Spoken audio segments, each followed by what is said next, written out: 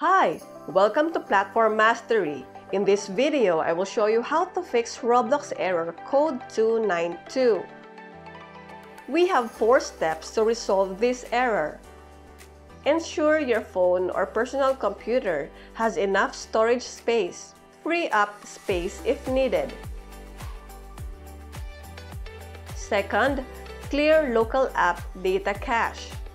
Press Window plus R keys. Type percentage sign local app data percentage sign and press enter.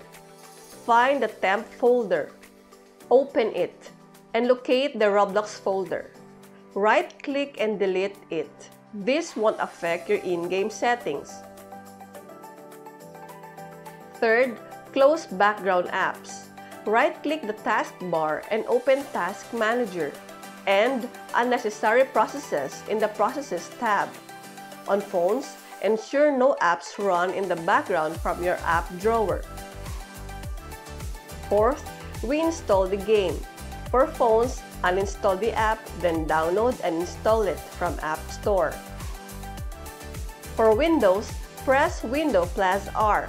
Type appwiz.cpl and press Enter.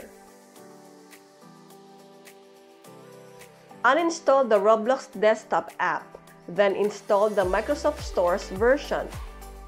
The Roblox error code 292 issue should be resolved. If not, share with us your technique. For more videos like this, hit the subscribe button and click the notification bell so that you get notified for our new uploaded videos. See you next time!